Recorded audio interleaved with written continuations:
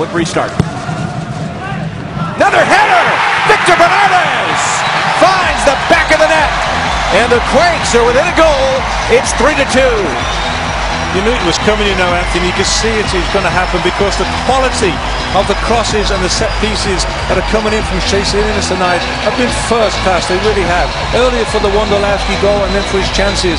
And these corner kicks, he's putting in the pace on that and he's putting in the perfect area where the Earthquakes players can attack it.